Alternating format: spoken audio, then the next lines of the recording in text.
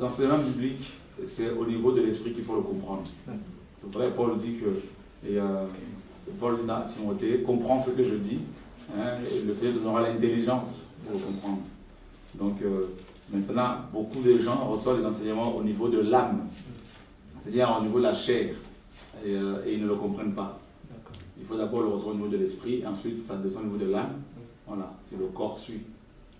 D'accord? En fait, ce qu'il faut comprendre, en fait, euh, par rapport à l'homme, parce que nous sommes euh, cette semaine euh, en train de parler de, de l'homme, et euh, il n'y a rien de nouveau sur la terre. Donc l'homme, et, euh, et pour comprendre l'homme, il faut aussi comprendre le tabernacle.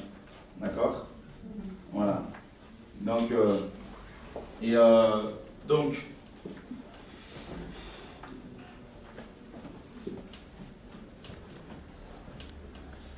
lieu très saint, lieu saint, le parvis.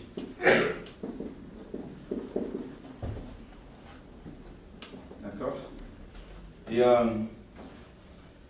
donc, euh, hier, on a parlé de. je vais développer un peu vite fait là, c'est c'est le. Hier, on a parlé de, de l'esprit de l'homme, de l'esprit humain. Et euh, donc, l'enseignement est basé sur l'homme. Nous allons reprendre les passages qu'on a lus hier. Genèse, chapitre 1er. Dès que quelqu'un trouvait, il faire la lecture à chaque fois. Verset 26 à 27.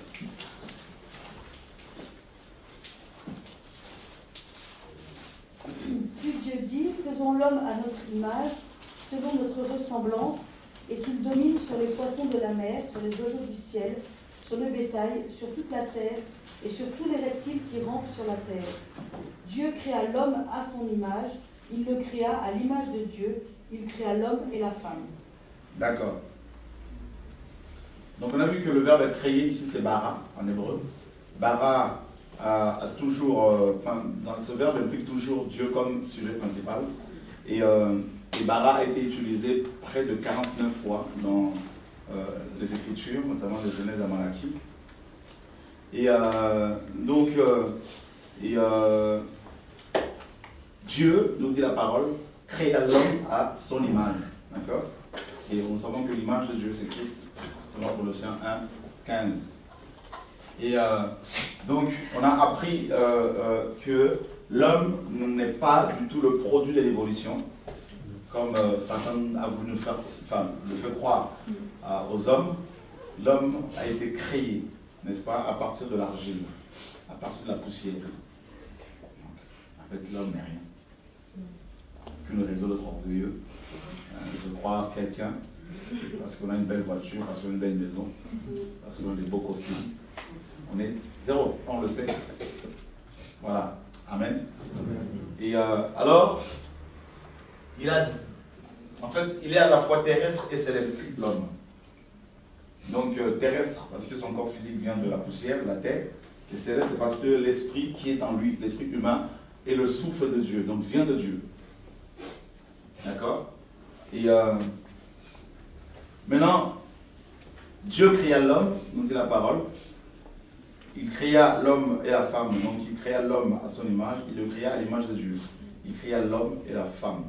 Puis Dieu les bénit et Dieu leur dit, voyez, soyez féconds, multipliez, remplissez la terre, assujettissez-la et dominez sur les poissons de la mer, les oiseaux du ciel et sur tout animal qui se meut sur la terre.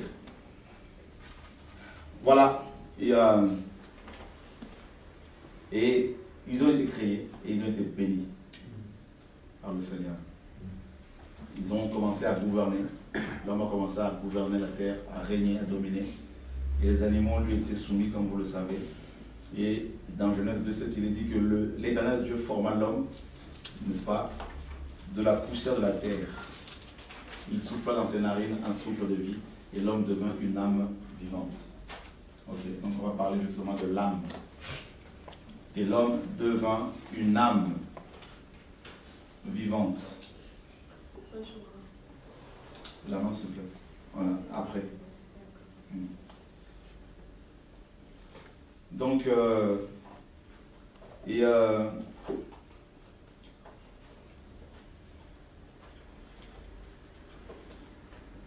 voilà. Je vais toujours lever la main parce que comme je ne prépare jamais mes enseignements à l'avance, donc si on me coupe là comme ça, parfois c'est pas évident. Voilà. Je perds parfois là, des onctions comme ça, ça. Merci. Merci Seigneur. Amen. Alors, euh, l'éternel format, d'accord? Alors, alors, formé ici, et euh, c'est Yatsar, Yatsar qui euh, euh, signifie formé par la souffrance, formé par la pression, d'accord? Yatsar, c'est formé par la pression, par le feu. Vous savez, c'est le même verbe qu'on utilise également, qui est utilisé dans la Bible pour parler de la formation des pierres vivantes, euh, des pierres précieuses. N'est-ce pas Par la pression des eaux, par la pression de la chaleur sous, sous terre. D'accord Et euh, c'est formé par la pression. Et c'est comme ça que vous voyez que le Seigneur forme ses serviteurs. Hein, il t'appelle et te soumet à une pression terrible aux critiques, à la moquerie, à, voilà, à la croix. Donc c'est par la pression. Et c'est comme ça que il a formé également son fils. Il faut vous rappeler quand le Seigneur s'est retrouvé sur dans le jardin de Gethsemane? Hein, Gethsemane signifie quoi Pressoir à, à Vous voyez? Donc c'est comme ça que le Seigneur. Il n'y a pas de hasard. Hein. tout est bien dans la Bible, tout est bien calculé et bien pensé. Donc la formation par la pression. C'est pour ça qu'il ne faut pas céder quand on est soumis à une pression, euh, une forte pression, hein, une opposition de la part des pécheurs. C'est comme ça que le Seigneur brise la chair, brise l'âme. D'accord? Et euh, donc, euh, il a formé, il a formé, il a formé. Vous avez vu comment il a formé l'homme? Donc, je vais quand même euh, m'attarder sur la formation avant de développer sur l'âme. Donc, le premier point ici, c'est l'argile. Hein. Ça, c'est le matériau. D'accord?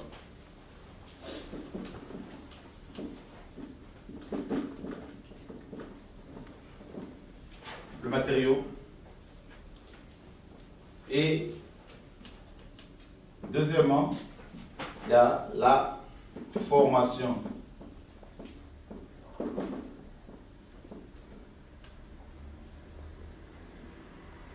D'accord? La formation, bien sûr, a pour but de transformer. C'est la transformation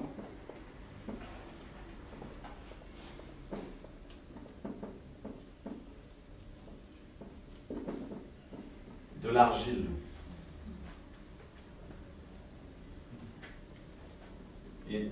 Donc la formation pour but de transformer la, personne.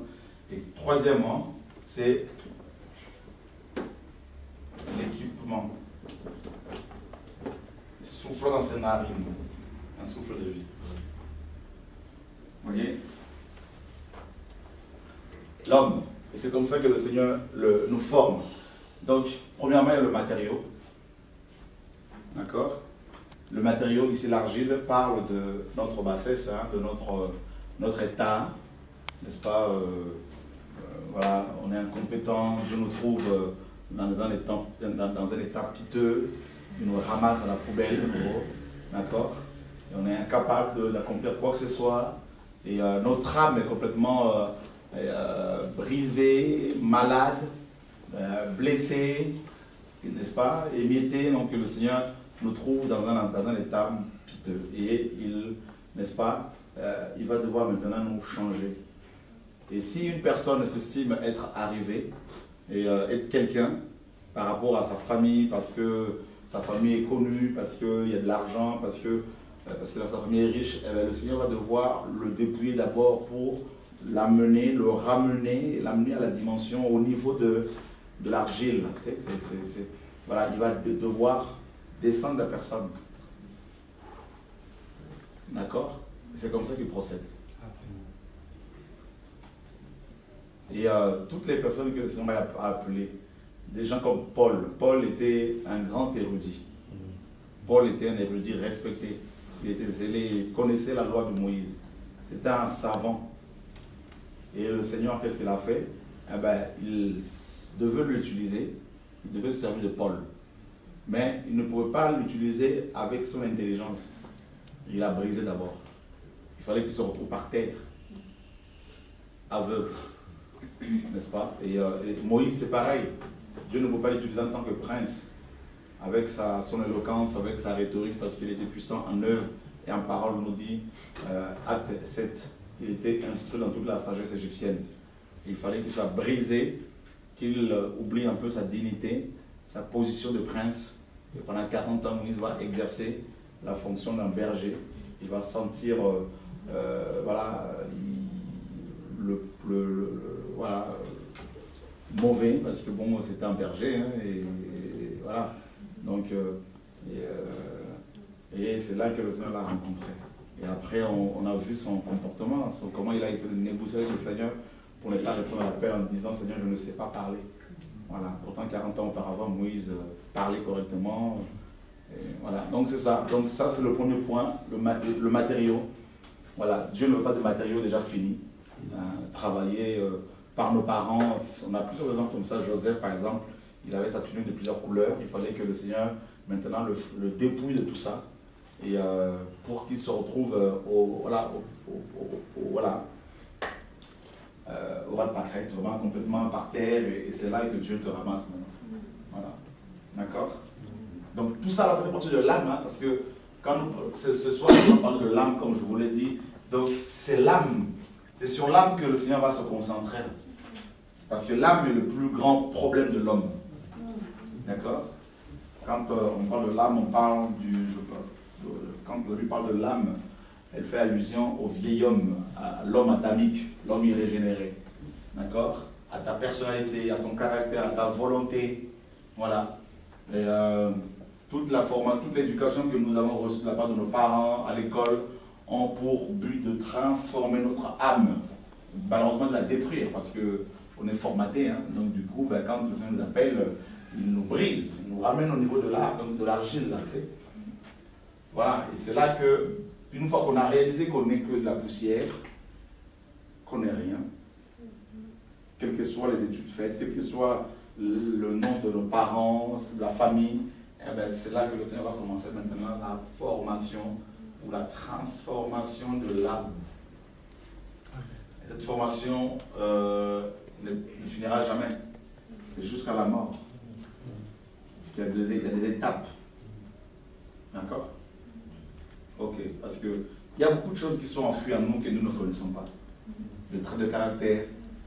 hein. Donc, euh, au fur et à mesure que le Seigneur va nous exposer à la lumière euh, de la parole, au feu de Dieu, que ces traits de caractère vont se révéler. D'accord? Comment parler? Comment répondre aux gens? Comment parler à sa femme, à son mari? Tout ça comment parler aux frères et sœurs? Donc, toutes ces choses vont remonter au Seigneur. Mais du feu, parce qu'au fond de l'âme, il y a, y a une espèce de lit, il y a la lit qui est là. Vous voyez? Et que le Seigneur va, n'est-ce pas, chaque fois, euh, ben, faire remonter. Et à chaque fois, petit à petit, de manière, euh, euh, avec beaucoup d'amour, avec beaucoup de dextérité, beaucoup de hum, sagesse, ben, il ôte au fur et à mesure des choses qui sont enfuies en nous, qui peuvent détruire aussi bien nos vies que nos couples, nos ministères, et ainsi que les frères et sœurs qui sont, euh, que nous côtoyons, déjà que nous côtoyons. D'accord? Et la formation, donc à chaque étape, hein, donc il y a l'équipement que Dieu donne pour exercer un ministère. Donc il souffle là dans ses narines. Ça c'est l'équipement. Vous voyez? L'équipement. C'est l'onction. D'accord?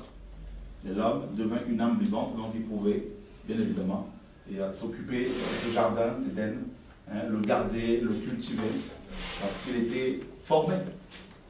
Vous voyez, c'est la même chose que le Seigneur fait, hein, c'est la même méthode. hein. Il utilise la même méthode. Matériaux, donc euh, la bassesse, il te ramène à ce niveau. Ensuite, il te forme lui-même, d'accord Et euh, après, lorsqu'il a estimé que la formation qui est indispensable à un service que tu dois rendre, n'est-ce pas, est fini, eh ben, il t'équipe en fonction de ce service pour pouvoir exercer cette fonction. n'est-ce pas? Et il attend, après il y a un autre palier qu'il va devoir euh, franchir.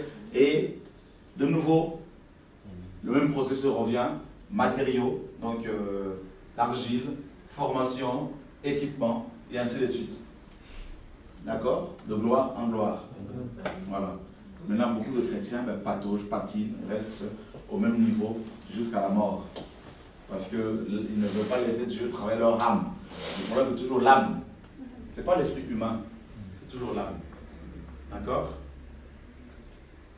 Et euh, donc, on a vu que l'homme, selon 1 Thessaloniciens, oh, qu'est-ce que je dis? L'homme, selon 1 Thessaloniciens 5, 23, hein, est un esprit, une âme et un corps physique. D'accord? Voilà. L'âme, l'âme, l'âme. Et l'homme devint une âme vivante. D'accord? Et, euh, et il est dit que l'Éternel, verset 9 de Genèse 2, puis l'Éternel Dieu planta un jardin en Éden du côté de l'Orient et il mit l'homme qu'il avait formé. Vous vous rendez compte? Donc l'homme son âme était suffisamment formée, bien formée, et il pouvait maintenant s'occuper de ce jardin. D'accord? Imaginez une personne dont l'âme n'est pas assez travaillée et à qui on va confier un jardin, elle va tout détruire.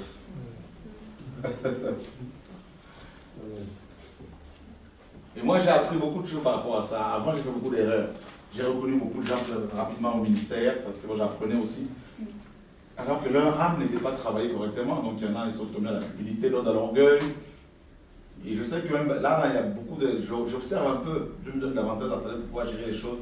Beaucoup de gens, je vois par rapport à leur comportement, qu'ils ont encore un problème au niveau de l'âme. Plein de problèmes au niveau de l'âme par rapport à d'autres. On peut percevoir facilement l'orgueil, il peut facilement rentrer. Donc euh, il, faut, il faut des cadres pour ne pas justement qu'il. Euh, après ça pète. Je le vois facilement. Amen. Parce que je peux vous assurer, si l'âme n'est pas travaillée et que vous avez la gestion d'un jardin dans lequel il y a toutes sortes d'arbres, le manguier, l'oranger, tout ça, l'avocatier, euh, eh bien vous allez devenir tellement orgueilleux que vous allez vous servir de tous ces, arbres-là pour faire n'importe quoi, pour vendre des fruits, pour vous enrichir, pour vous empiffrer, pour... Euh, eh bien là, c'est fini, là, vous allez tout, tout, tout casser, tout renverser.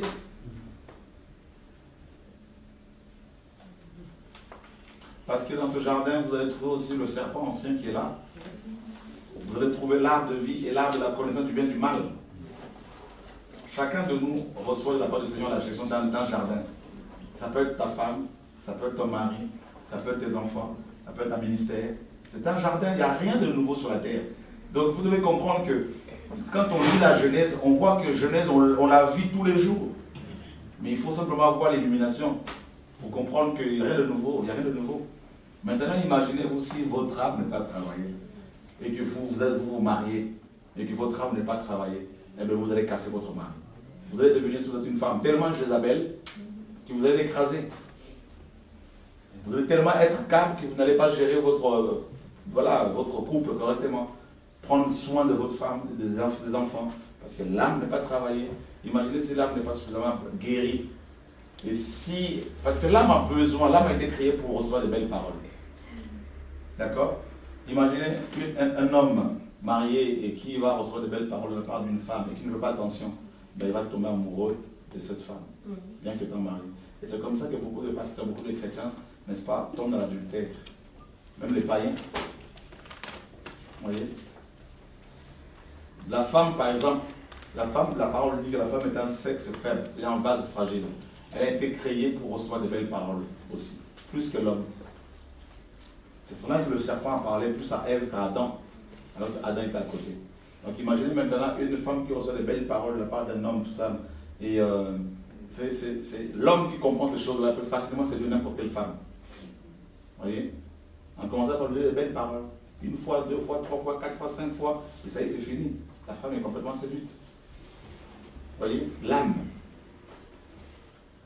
Mais une personne qui est dont, l'âme est guérie, dont l'âme est en relation avec le cœur du Père, peu importe les propos des gens, elle tiendra. Parce qu'elle trouve sa source en Dieu le Père. D'accord? C'est pour cela qu'il faut vraiment comprendre que l'âme, là, mes amis, là, hein, je crois que Dieu va beaucoup nous parler. Donc j'insiste sur le, le jardin. On veut gérer l'œuvre de Dieu. On veut s'occuper des frères et sœurs. On veut s'occuper d'un ministère. Veillons sur notre âme. La lutte il veille sur tout ton, sur ton, sur ton cœur. Que l'âme, c'est le cœur. Plus que toute autre chose. Car de lui viennent des sources de la, de la vie. Ah oui. Marc chapitre 7 nous dit que du cœur de l'homme, de l'âme, viennent les adultères, les impudicités, les cupides et toutes ces choses-là. hein, les cupidités. Donc, euh, et euh, c'est au niveau de l'âme. Au niveau de l'âme. L'âme, c'est le siège des émotions. Donc je disais que vous avez le parvis.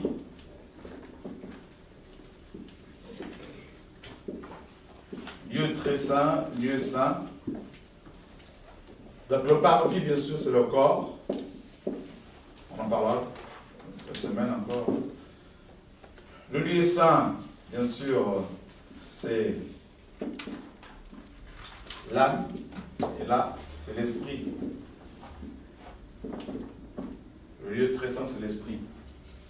Là, il y a l'arche, la gloire de Dieu, l'esprit de Dieu. D'accord? Yeshua, la gloire de Dieu. Vous avez l'âme.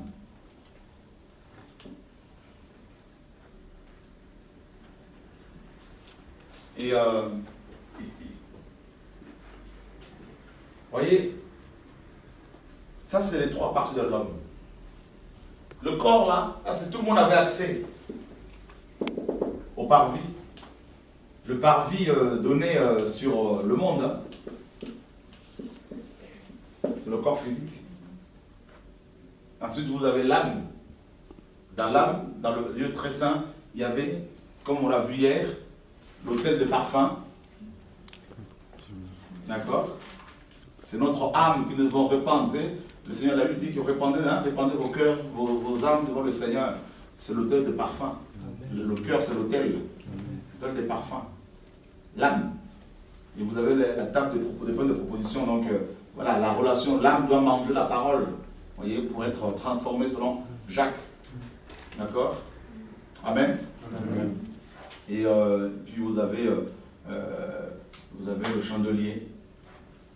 Le chandelier. Qui doit, la lumière qui doit éclairer nos âmes.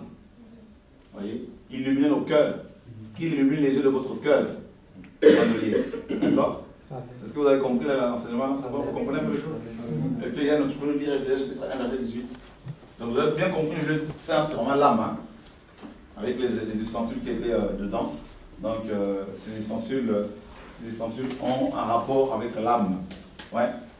Il illumine les yeux de votre cœur pour, pour que vous sachiez quelle est l'espérance qui s'attache à son appel, quelle est la richesse de la gloire de son héritage qui réserve au sein. Ok. Les yeux de votre cœur. Donc c'est le chandelier qui éclaire de face. Hein, Donc qui peut nous éclairer. C'est Christ la lumière.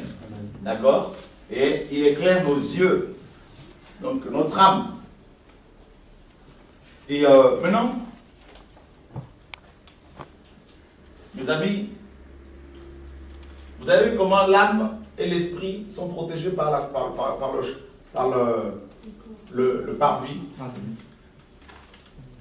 Hein?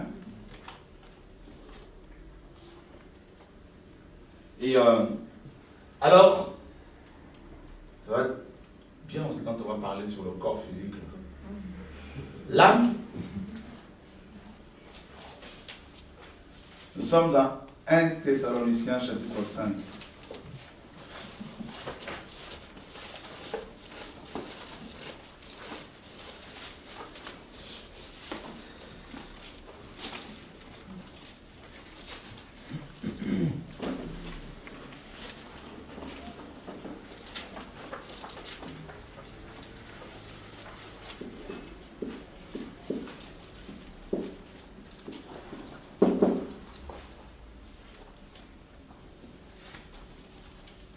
Que Dieu de paix vous sanctifie lui-même tout entier et que tout votre être, l'esprit, l'âme et le corps soient conservés irréprochables lors de l'avènement de notre Seigneur Yeshua, le Messie. L'âme doit être conservée dans la pureté. L'âme, l'esprit également, mais là ce soir c'est l'âme dont il est question. L'âme, psyché, hein, ou psyché en grec, et euh, qui donne euh, en français bien sûr euh, souffle, et, euh, euh, ou encore vie, la vie. Donc l'âme veut dire, signifie vie. Nous allons lire Lévitique chapitre 17, verset 11 à 14, si quelqu'un peut nous le lire.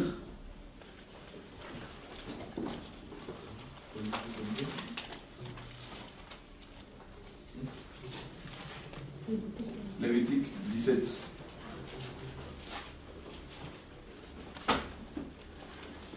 Car la vie de la chair est dans le sang, qui vous est donné sur l'autel, afin qu'il serve d'expiation pour vos âmes, car c'est par la vie que le sang fait l'expiation. Mhm. C'est pourquoi j'ai dit aux enfants d'Israël, personne d'entre vous ne mangera du sang, et l'étranger qui séjourne au milieu de vous ne mangera pas de sang. D'accord, on continue. Si quelqu'un, des enfants d'Israël ou des étrangers qui séjournent au milieu d'eux, prend à la chasse un animal ou un oiseau qui se mange, il en versera le sang et le couvrira de poussière. Car la vie de toute chair, c'est son sang qui est en elle. C'est pourquoi je dis aux enfants d'Israël, vous ne mangerez le sang d'aucune chair, car la vie de toute chair, c'est son sang. Quiconque en mangera sera retranché. Toute personne indigène ou étrangère qui mangera d'une bête morte ou déchirée lavera ses vêtements, se lavera dans l'eau et sera impure jusqu'au soir, puis elle sera pure. Mhm. Si elle, ne, si elle ne lave pas ses vêtements et ne lave pas son corps, elle portera la peine de sa faute. Pardon, excusez-moi, je me suis trompé ici. Touché. Voilà. Donc, euh, et, euh, la, la, Bible dit dans Lévitique ici que la vie d'un homme, c'est son sang. Dans d'autres versions, on a dit l'âme hein, de tout homme, c'est son sang. Donc l'âme, c'est le sang, et le sang, c'est la vie. D'accord? La vie. Donc il ne faut pas seulement voir le sang physique aussi, hein. il, y a aussi il y a le sang physique, il y a aussi le sang spirituel. Donc c'est la vie tout simplement. Donc euh, avec l'âme, on peut maintenant, avec l'esprit, nous, sommes, nous pouvons être conscients de la réalité ou des réalités spirituelles. Aussi bien euh, euh, le monde des anges du Seigneur, Dieu lui-même, que le monde satanique, les démons, Satan, tout ça. Mais avec l'âme, par contre, nous avons, nous pouvons être en relation avec le monde qui nous entoure, le monde matériel, le monde physique. Alors imaginez maintenant si votre âme n'est pas guérie. Imaginez les troubles que vous allez causer autour de vous à chaque fois. D'accord? Imaginez un peu. Et c'est là que ça, c'est, là que Satan met le doigt là. C'est au niveau de l'âme justement. D'accord? Regardez. Acte, chapitre 26. Acte, chapitre 17, pardon. Quelqu'un peut nous lire verset 26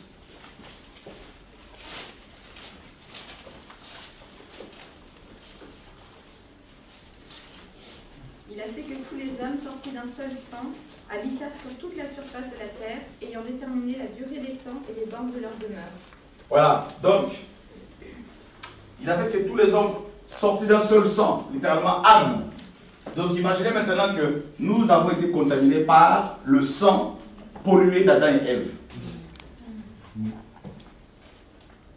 Donc quand on voit, on parle du sang ici, l'âme là, vous voyez aussi en même temps le sperme. D'accord? Dedans, vous avez les spermatozoïdes, vous avez l'ADN. Hein?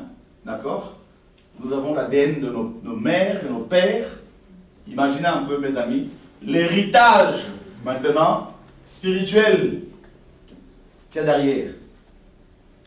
D'abord, les hommes, comme vous le savez, ont hérité, hein, n'est-ce pas, euh, euh, du péché d'Adam et Ève.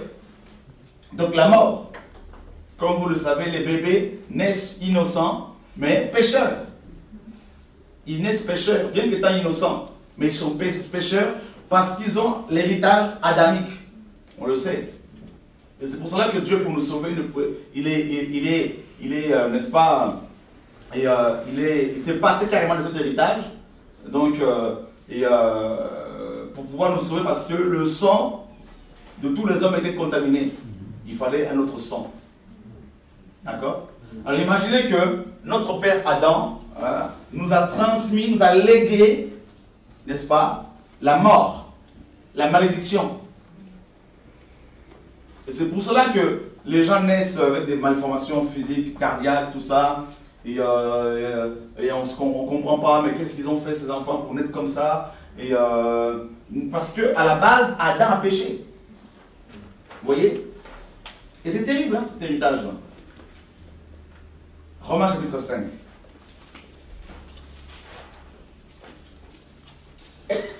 Verset 12.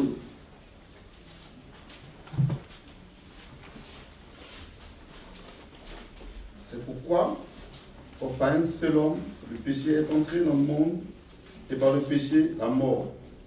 Et qu'ainsi la mort s'est étendue sur tous les hommes, parce que tous les hommes ont péché. Parce que tous ont péché. L'universalité du péché a été rendue possible par la désobéissance d'Adam et Ève. Donc, imaginez, Adam et Ève désobéissent au Seigneur et toutes les personnes qui étaient sous leur autorité, la création notamment, hein, tout ça a été affecté. C'est terrible. Et tous les descendants d'Adam et Ève irrités de leur péché. Et l'apôtre Paul nous dit que, il dit dans Romains 5, que même les gens qui n'avaient pas commis les mêmes, euh, euh, euh, les mêmes choses que Adam et Ève, n'est-ce pas? Cependant, la mort a régné depuis Adam jusqu'à Moïse, verset 14, même sur ceux qui n'avaient pas péché par une transgression semblable à celle d'Adam, lesquels est la figure de celui qui devait venir. D'accord? Tous ont péché, comme la parole le dit, et sont privés de la gloire de Dieu. Romains 3, 23. On le sait. Premier héritage, Adam. Deuxième héritage, par rapport à l'âme, c'est l'héritage de nos familles. Donc on ne peut pas parler de l'âme, toucher l'âme, sans parler de l'héritage familial ou des héritages hein, familiaux. 1 Pierre chapitre 1, verset 18. Si quelqu'un peut nous le lire.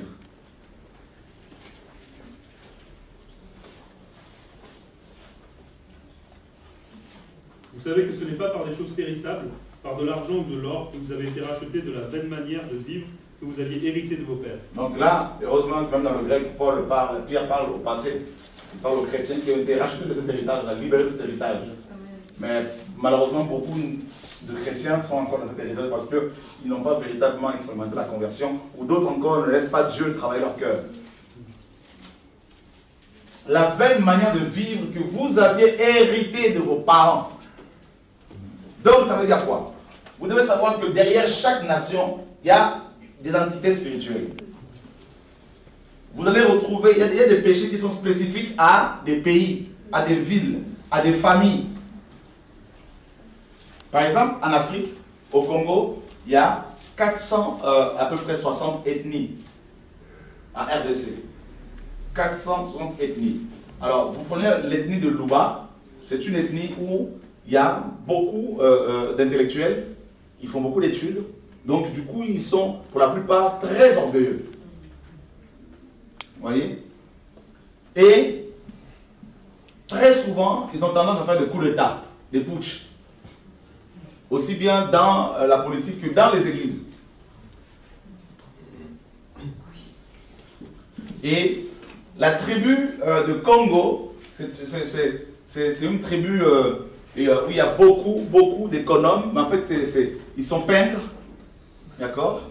Donc, euh, un Congo peut avoir des millions, euh, et, un euro, hein, un dollar, et dormir dans une bicoque, et un parterre. Tout ça parce qu'il faut qu'il économise. D'accord? Donc, très souvent, quand un Congo meurt, meurt pardon, on va trouver dans sa maison beaucoup, beaucoup d'argent caché par-ci, par-là tout ça. Donc, euh, euh, ils sont très avares. Donc, imaginez maintenant, moi je connais beaucoup de Luba, beaucoup de Congo, euh, qui ne sont pas délivrés de ces choses. Et je vous assure, j'en parle en connaissance de cause. Alors, imaginez, et, vous avez chez les, Camerounais une tribu qu'on appelle les Bamileke, une tribu euh, des commerçants, donc il y a aussi beaucoup, beaucoup d'orgueil. Imaginez ces personnes qui viennent à Christ, si l'âme, leur âme, si leur âme ne sont pas, leurs âmes ne sont pas délivrées, eh ben, ces personnes vont continuer dans cet héritage ces héritages familiaux et vont se servir de la Bible pour devenir des commerçants. D'accord? Et vous avez, euh, euh, euh, chez, par exemple, les, Ivoiriens, vous avez la, tribu, par exemple, des BT, ce sont des guerriers, par exemple, et euh, il y a beaucoup de violence chez eux. Et euh, donc, ces personnes, quand elles viennent au Seigneur, si elles ne sont pas délivrées au niveau de l'âme, les démons les chassent. Mais la délivrance de l'âme, c'est le caractère. Donc, c'est pas toujours facile. Parce qu'il faut du temps. D'accord? Si ces personnes ne sont pas délivrées, elles peuvent être, elles, sont souvent donc les BT, et euh, elles ont un caractère acariâtre, très irascible et euh, très impulsif. Donc facilement, ils peuvent réagir, même les loubards aussi, hein, donc euh, violemment et euh, verbalement, et jusqu'à en venir aux mains. Et, euh, et c'est là de ne pas travailler, c'est terrible. Vous avez chez les Européens, par exemple en France, et vous allez trouver que, par exemple, c'est très significatif, je pense que beaucoup de gens ne le savent pas. Vous allez dans les, dans les mairies, vous allez voir le bus de Marianne, le bus, donc, vous voyez, donc ça veut dire tout simplement que, voilà, c'est- c'est- la femme qui, gère, c'est une entité féminine qui gère la France. D'accord? Déjà l'Europe, à la base, l'Europa, c'est la fille d'un dieu. Hein, donc, euh, c'est la femme. Voyez? Et euh, donc, une femme européenne qui appelle au ministère, si elle n'est pas délivrée au niveau de l'âme, aura tendance à imposer sa loi, à gérer, à commander. D'où le mouvement, euh, euh, le mouvement des féministes, tout ça. de- c'est- la libération de la femme, l'avortement, l'IVG, tout, tout, tout, c'est mon corps, j'en fais ce que je veux. Vous voyez, c'est- terrible. Et c'est très important, hein, ce que je vous dis, frère. L'âme, là, il faut qu'on qu'on veille, hein, parce que ça peut nous, elle peut nous entraîner en enfer. Au niveau de l'esprit, on est régénéré. L'esprit reçoit les dons de l'esprit, mais ce n'est pas parce que tu prophétises que tu as des visions que ton âme est travaillée. Ce sont des, des dons, des faveurs immé- imméritées. Voilà.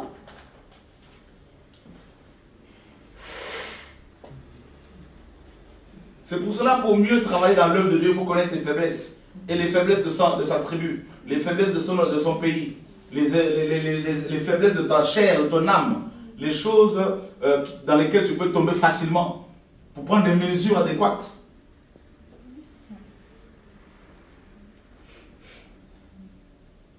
Est-ce que ça vous intéresse.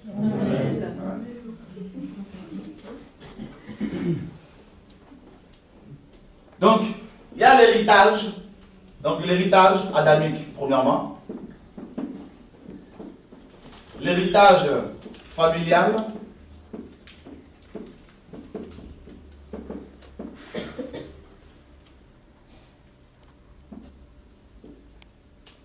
L'héritage, donc, euh, tribal d'abord.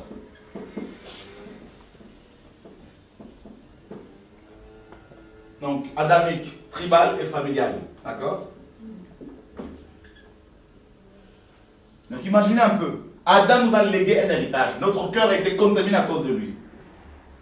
Deuxièmement, il y a nos tribus, c'est-à-dire le pays. Le fondateur de la France, comment s'appelait-il? Quelle était sa vie? D'accord? Le fondateur de ta tribu familiale. Vous voyez, en France, nous avons par exemple des Bretons. Vous allez voir, les Bretons, ils ont un, comportement. Vous allez voir les Alsaciens. Vous voyez, derrière chaque raison, région, là, pardon, il y a des choses, il y a des entités. Donc les gens de cette région, de chaque région, ont une mentalité, une, une culture, un- un- un- une manière de penser, de, de voir les choses. Et cette manière de cette culture dans laquelle ils se trouvent, ben, a façonné leur âme, leur cœur. Ben oui.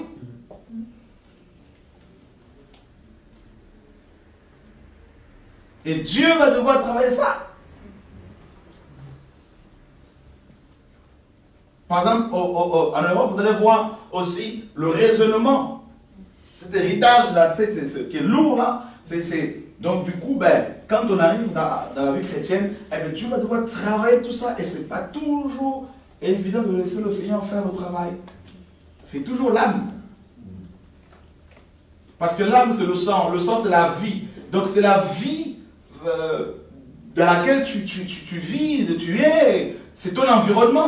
Quand on parle de l'âme, la vie, c'est la culture, les coutumes, les traditions. Voyez? La- L'éducation. C'est ça la vie. La vie, c'est quoi? La vie, c'est- l'être et le mouvement. La vie, c'est un ensemble de, des codes, voyez, euh, auxquels nous sommes soumis, des règles auxquelles nous sommes soumis, n'est-ce pas? Donc, euh, et c'est ça la vie. C'est pas seulement le fait de respirer, de parler, mais c'est un ensemble de choses. À quelle heure nous mangeons, comment nous, les gens s'habillent, la culture, voilà. Vous allez par exemple voir en Europe, les gens ont cette culture de s'habiller légèrement parfois. Et euh, voilà, donc euh, c'est pas un problème de se trouver euh, pratiquement nu euh, euh, à la piscine, tout ça. Donc, vous voyez, c'est la vie qu'on trouve en, Europe. Donc quand on arrive dans le Seigneur, maintenant on apprend que le corps de la femme ne lui appartient pas, mais il appartient à, son mari, et inversement. Maintenant, allez dire à ces hommes, ces chrétiens, qu'ils ne peuvent pas se dénuder, tout ça, aller à la, pis- à la piscine, et pour se mettre à maillot de bain devant tout le monde, pour que tout le monde voit leur corps. Mais euh, c'est tout un débat. Pourquoi? C'est l'âme qui est, qui est- qui est- formatée comme ça. Et quand tu, as, tu, tu, tu, amènes la vérité, il y a beaucoup de raisonnements. Allez dire à un Africain qui est né dans une culture où la, la- notion euh, de, la- de- temps n'existait pas, et euh, la ponctualité n'existait pas, allez lui dire qu'il faut qu'il soit à l'heure quand il a un rendez-vous. Même s'il est pasteur, vous allez, vous, vous allez voir qu'il va vous dire j'arrive à midi, mais en fait, il faut attendez-vous à le voir à 14h. voyez? Dans une culture, il n'y a pas d'organisation. Et c'est ça que nous sommes, c'est comme c'est ça notre vie. L'âme, c'est nous.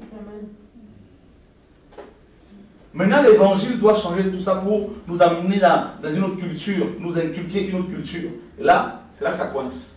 Bah oui, parce qu'on est tellement, on est tellement cassé, l'âme est tellement blessée, brisée. Ben, on ne veut pas laisser Dieu travailler. Nos cœurs, nos âmes. D'accord C'est pour ça que vous avez des chrétiens qui sont dans les églises depuis 30 ans, ils sont toujours euh, inchangés, ils sont toujours euh, là en train de se blesser facilement, ils, ils, pleurent, ils ne sont pas guéris, il y a un problème, c'est c'est un problème. Maintenant, pour parer à ce problème, au problème de l'âme, Satan a proposé quoi? La psychanalyse avec euh, Freud, hein, euh, cet allemand, euh, tout ça, euh, la psychologie, la psychiatrie, voyez C'est. Pour soigner l'âme oui Toutes ces sciences complètement, excusez-moi du terme, bidon, complètement démoniaque.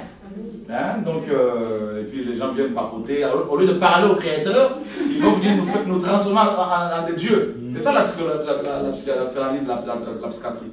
Tout ça. Ça va, c'est doucement. L'homme devient Dieu.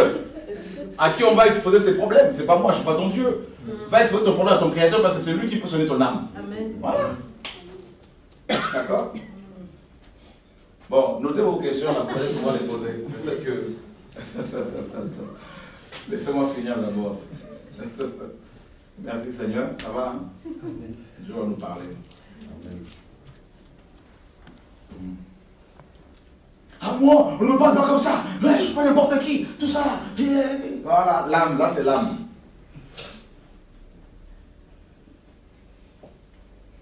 Moi, je ne me mettrai jamais avec un, avec un noir, jamais avec une blanche, jamais avec un congolais. Là, c'est l'âme qui parle. L'âme, c'est la volonté. Ça, c'est ta volonté. 10 ans de conversion, mais ta volonté, est toujours là présente.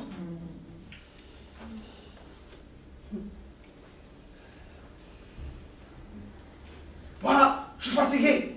J'en peux plus. Je n'arrive plus à prier. Tout ça. J'ai beaucoup de pression. C'est l'âme qui parle.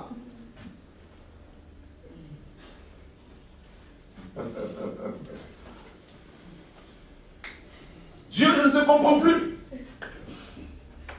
Je souffre à cause de toi. Là, c'est l'âme.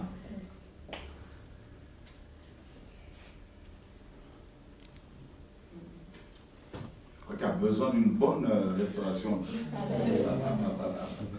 Ah non, moi je suis pasteur, c'est fini pour moi, je suis dé- délivré. Ah, mon coco. Ah, qui t'a dit ça? Nous sommes tous concernés. hein? Ah oui.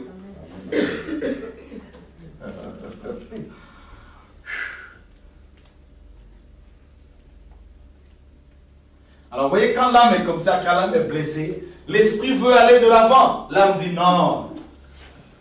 L'esprit a des désirs contraires à ceux de l'esprit, à, ceux de la chair. Mais la chair ici, ce n'est pas la chair physique, c'est l'âme.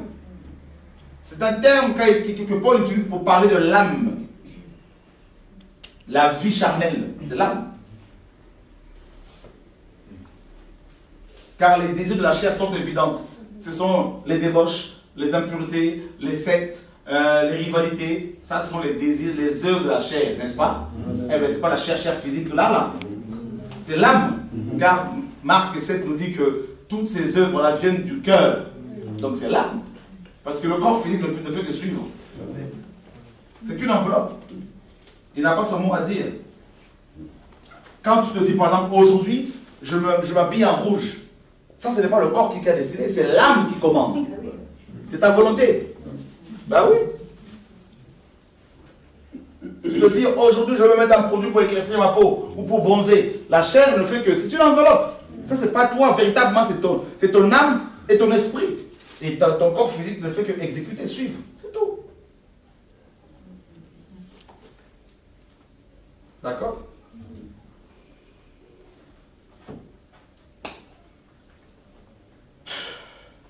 Qui a besoin de changer au niveau de l'âme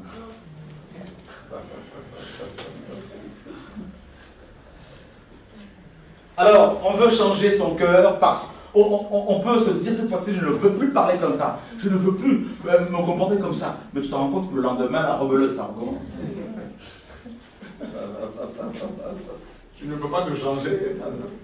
Et parfois, ta honte, tu te caches, Seigneur, oh, je pleure, hein, Seigneur, pardonne-moi. Euh, euh, tout ça là. Là, les couples, là, les âmes sont beaucoup secouées. Hein. Ah. Le fer église le fer. Pourquoi tu n'as pas fait ça? Non, mais effectivement, tu le mets partout comme ça par terre. C'est pas normal. Parle forcément à quelqu'un. Tes chaussures, il faut que tu les ranges. Tout ça. Tu manges et tu ne fais pas la vaisselle, c'est pas normal.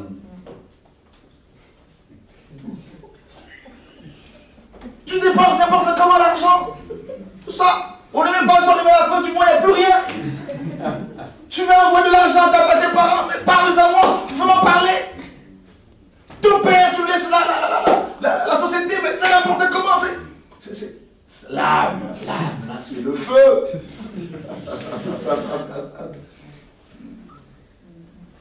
Il faut que tu mettes de l'ordre avec ta mère, avec ton père, il faut que tu mettes de l'ordre, tout ça.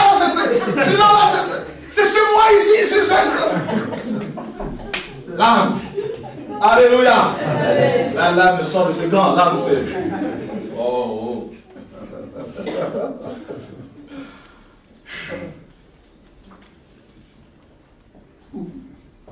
On a beaucoup de choses à changer. Ah, on veut se donner l'impression d'être des grands, des grands esprits là de. Oh, Jésus sauve-nous. Jacques, chapitre 1er.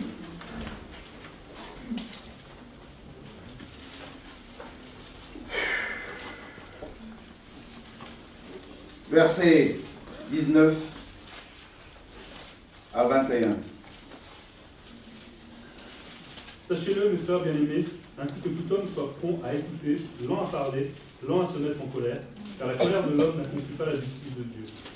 C'est pourquoi, rejetant toute souillure et tout débordement de méchanceté, recevez avec douceur la parole qui a été plantée en vous et qui peut sauver vos âmes. Ok, donc l'âme, l'âme égale la vie, donc la vie matérielle, hein, comme toutes les choses qui concernent la vie, d'accord? L'âme égale les sentiments. Dans l'âme, il y a les sentiments. Donc, bien sûr, il y a toutes sortes de sentiments, hein, la colère, la haine, n'est-ce pas? Et euh, tout ça. Et Jacques, ici, nous dit que Sachez-le, mes frères bien-aimés, ainsi que tout homme soit prompt à écouter, lent à parler, lent à se mettre en colère. Et on a du mal à se maîtriser. Nous avons du mal à nous maîtriser parfois. Moi, j'avais beaucoup de problèmes par rapport à l'âme. Ah ouais. Je pouvais m'emporter facilement. Et mes gars me connaissaient. Facile. Le numéro 4 de tour. Ah ouais. Impulsif. Et il fallait que le Seigneur travaille. Voyez, nous avons deux oreilles et une bouche. C'est pour écouter doublement avant de parler.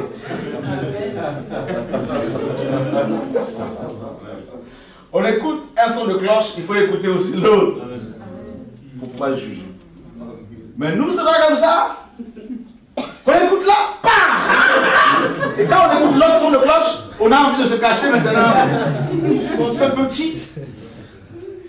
Vrai ou faux? Voilà. Pasteur ou pas, prédicateur. Tu crois que tu es arrivé là? Soyons humbles, frère.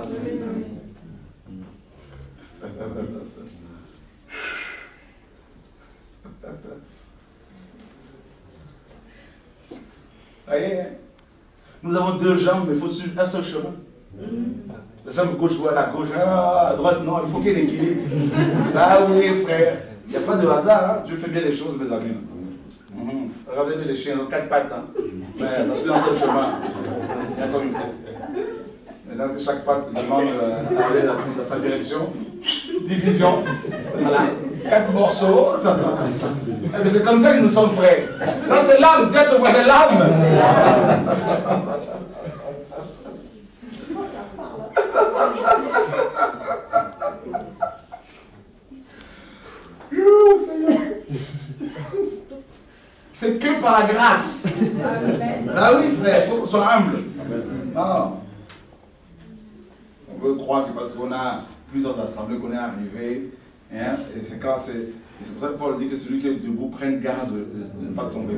Parce que après, quand si ton âme n'est pas soignée, là, voyez Hmm. Car la colère de l'homme n'accomplit pas la justice de Dieu. Ah oui. Ah, moi, je suis un prédicateur, je suis un ancien, je suis un pasteur. Il faut que tu veux, frère. Oula, l'âme, regarde-moi l'âme qui parle comme ça. C'est plus l'esprit. L'esprit est étouffé, écrasé. Et c'est l'âme maintenant qui, est, qui a pris du volume. Moi, dans le monde, on me parlait pas comme ça. Mais t'es plus dans le monde, mon ami là. C'est pas la cité l'œuvre de Dieu là, c'est fini.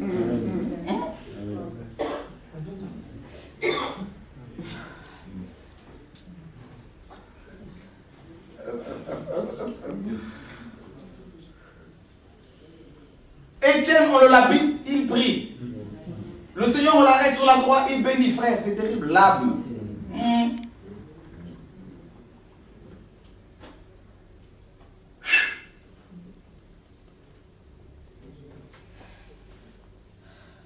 Amis, je vous dis un secret. hein. L'âme, c'est le caractère. Voyez? Ah oui. La plupart des ministères échouent à cause du caractère. Vous avez la vision, vous avez l'appel, vous avez l'appel, vous avez la vision, vous avez l'onction, vous avez, euh, n'est-ce pas, et, euh, euh, les moyens financiers, les ressources financières et matérielles que le Seigneur vous donne. Et ensuite, quand Dieu te donne une vision, il il t'appelle, il te donne une vision, il, te pointe, il te donne un message. Hein, Par la suite, c'est le caractère. Il doit changer notre caractère, travailler notre âme. Beaucoup de gens échouent. Vous avez vu Samson? Samson avait une grande, un grand appel, une grande autorité, une grande vision, mais il avait un problème au niveau de l'âme, au niveau du caractère. Il aimait trop les femmes.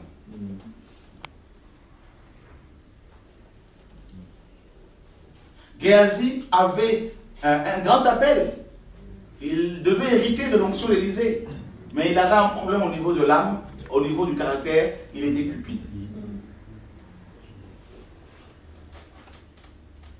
Moïse avait un grand appel, une grande vision qu'il avait reçue de la part du Seigneur, mais il avait un problème, il était coléreux. Il n'est pas rentré en Canaan. Il a frappé à deux reprises le rocher à cause de la pression du peuple. Faites attention, faites attention. Quand vous êtes sous la pression, quand vous servez le Seigneur, vous êtes sous la pression, faites attention aux, paroles qui sortent de votre bouche. Oh, j'arrête le ministère. Ah, je veux, je veux remettre les clés à Chora pour ceux qui. Je veux, vous ne vous rendez même pas compte. Un, homme qui a reçu l'onction, qui dirige les âmes, qui, est soumis à Dieu, ne peut plus pas- s'exprimer n'importe comment. Parce que par tes paroles, tu seras jugé et par tes paroles, tu seras justifié. C'est Dieu peut te tuer. Tes paroles te condamnent. Il arrête ton ministère. Il te disqualifie, c'est fini.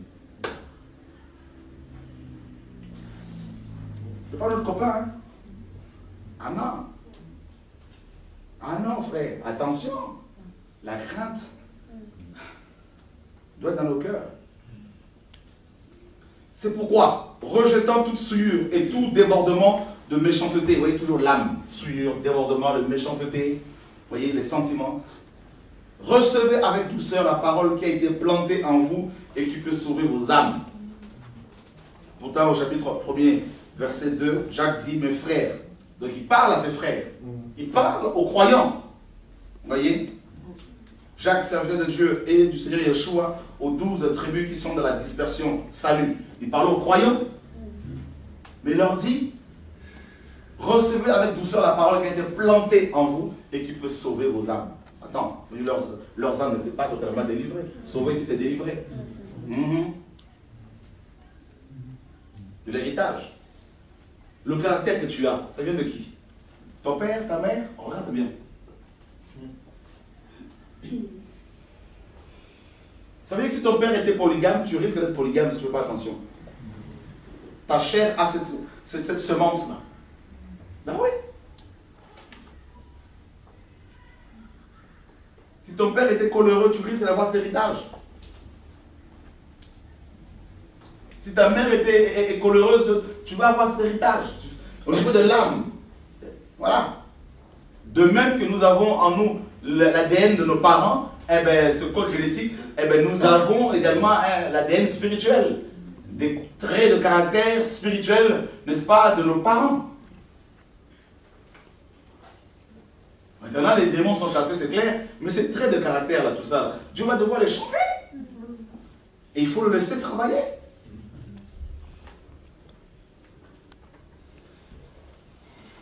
Et ça fait mal, parce que c'est c'est l'âme, c'est la vie, c'est notre vie qui est touchée. Et c'est pour cela que Dieu dit, donne-moi ta vie. Ah oui, donne-moi ta vie, donne-moi ton âme. Cette, partie sensible de ta personne. Une personne à qui on a toujours dit, tu es mauvaise, tu es méchante, tu n'es pas belle, euh, toute sa vie, cette personne a grandi avec ce rejet. Eh bien, si elle se convertit, elle est délivrée des démons. Mais souvent, cette personne a besoin de recevoir l'enseignement de la parole, d'où la nécessité d'être enseigné par les gens, ou par Dieu aussi.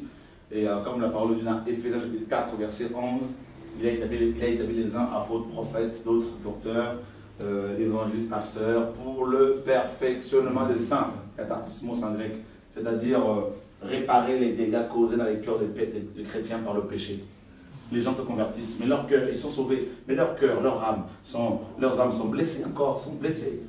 Ils ont des dégâts terribles. Des gens qui se convertissent au bout de, à l'âge de 20 ans, par exemple, par exemple, les 20 premières, premières années de leur, les 20 premières années de leur vie, ces personnes ont été brisées.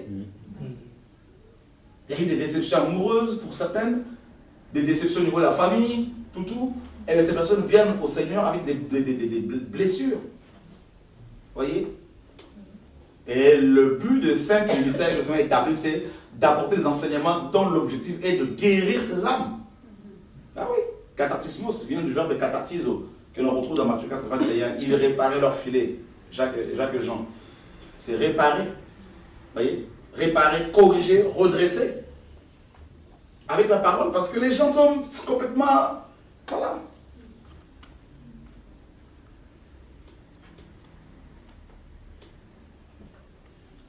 Vous allez voir plupart des jeunes qu'on a connus ici, qui étaient, la- qui étaient issus des cités, regardez comment beaucoup ont fini.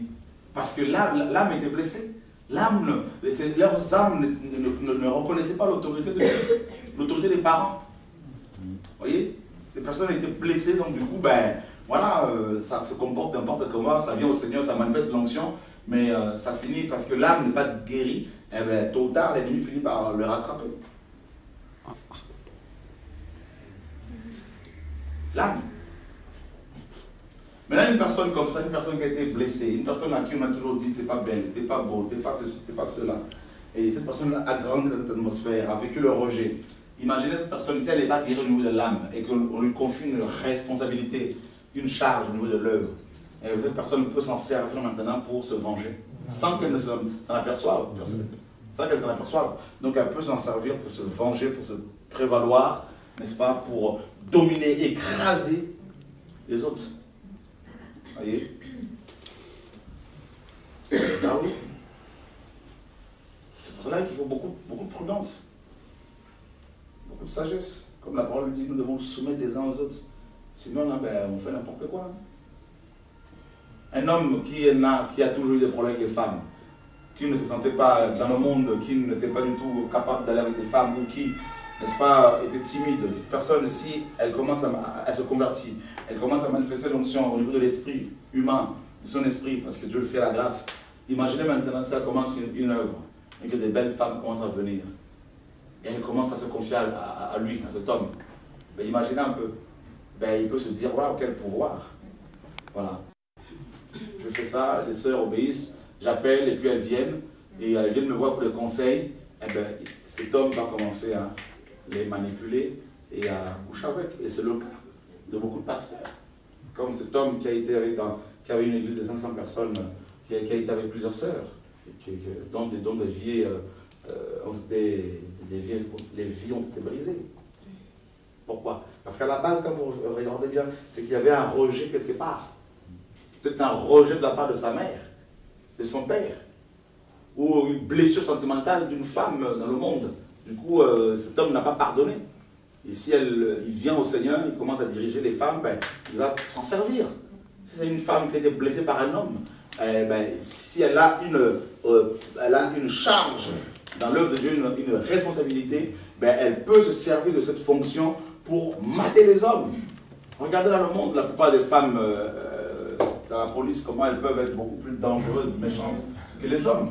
Parce qu'elles compensent, vous voyez, euh, le manque d'autorité euh, dans le monde par euh, en utilisant les fonctions dans lesquelles elles sont. Il vaut mieux avoir affaire à un homme juge qu'à une femme juge. Vous voyez? Donc le monde même nous enseigne. Vous voyez? En général, hein, je ne dis pas tout le temps que les femmes juges sont toutes comme ça, mais comprenez un peu mon, mon, langage comme ça. Donc vous voyez, c'est le caractère. C'est pour cela qu'il faut du temps. Les fruits de l'esprit, ce n'est pas au niveau de l'esprit, les fruits du Saint-Esprit, de l'acte 5, ce n'est pas au niveau de l'esprit humain, c'est au niveau de l'âme. Parce que, vous voyez, je vous ai dit que l'âme, c'est les sentiments. Donc, nous avons la haine. Le contraire de la haine, c'est l'amour. Vous voyez, sur les sentiments. L'amour est d'abord Dieu, mais l'amour aussi est un sentiment. Vous voyez? Vous avez, par exemple, une autre, euh, une autre œuvre de la, de, de, la chair, par exemple, et, euh, la peur. Vous voyez? La paix. Donc vous voyez c'est au niveau de l'âme. Maintenant, planter un arbre. Est-ce que vous allez tout de suite avoir les fruits? Non. Eh bien, une personne qui se convertit peut manifester certains fruits tout de suite, mais elle doit grandir dedans. Vous comprenez? Donc il faut du temps au fur et à mesure que la personne va recevoir la parole, son âme sera délivrée, guérie, et elle va, elle va manifester les fruits.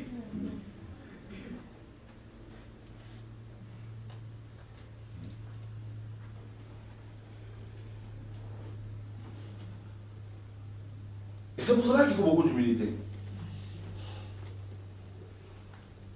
Paul disait qu'on ne peut pas confier euh, la gestion, le diaconat même, le diaconat, L'ancienat également aux nouveaux convertis.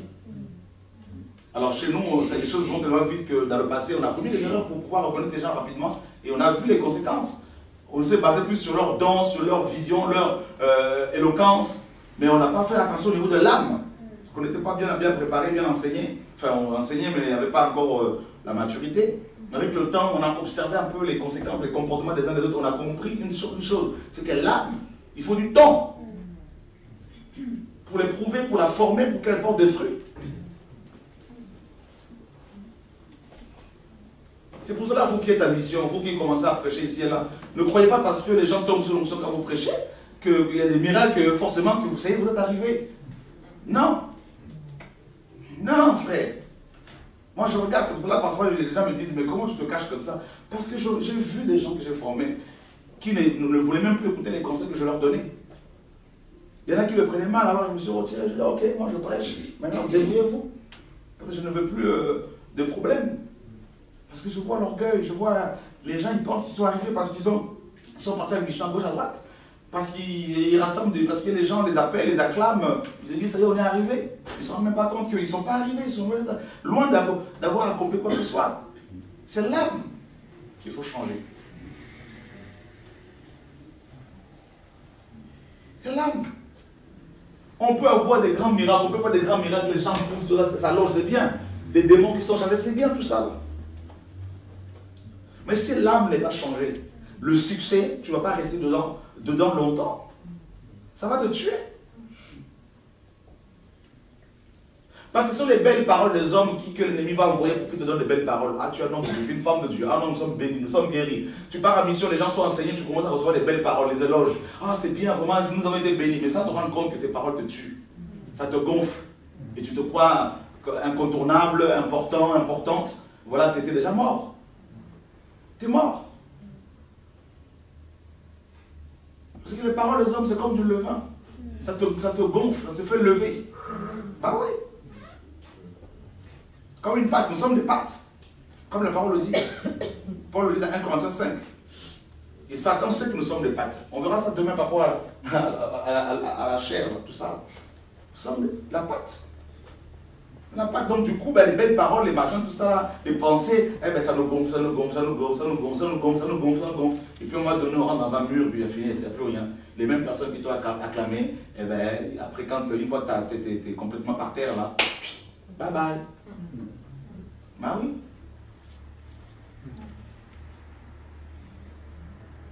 L'âme.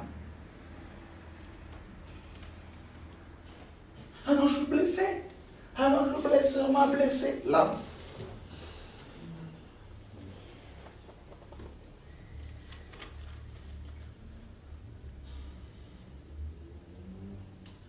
Qui a besoin de guérir? Alléluia. Frère, faisons attention. Moi, j'ai vu combien de fois l'ennemi a voulu me tuer avec, euh, au niveau de mon âme, avec des belles paroles. Les hommes. Ah, quelle onction. Ah, quel message. Ah, vraiment. Mais le Seigneur m'a fait grâce parce que je lui ai donné mon âme. Je lui ai dit, Seigneur, si tu vois que ça ne va pas là, un an avant, tu mens. Donc, on veille. Mais les belles paroles. Ça ne vient pas de loin des gens qui sont autour de toi qui vont t'encenser, qui vont te glorifier, qui vont chanter pour toi, te faire des éloges, des belles paroles. Ah oui. Satan connaît notre âme. Il sait que l'âme humaine est trop, aime trop les belles paroles. Que l'âme humaine n'aime pas la contradiction. Elle est frustrée quand euh, on, la soumet à une, contradiction. Euh, voilà. S'irrite s'excite.